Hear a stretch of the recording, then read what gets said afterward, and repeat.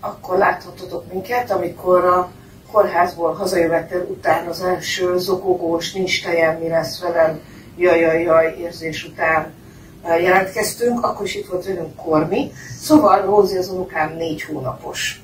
És ami miatt most azt gondoltuk, hogy készítünk egy új videót, az az, hogy Sári megkapta szoktatós anyaként a harmadik oltását, aminek nem várt következményé lettek. Szeretném elmondani, hogy aki úgy gondolja, hogy hülyeség oltani, az nyugodtan tekerjen tovább.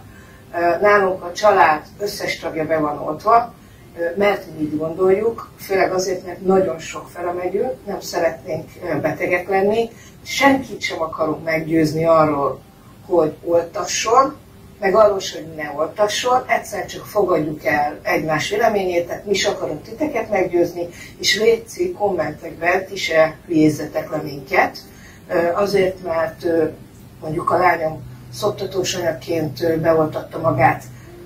Ennyi,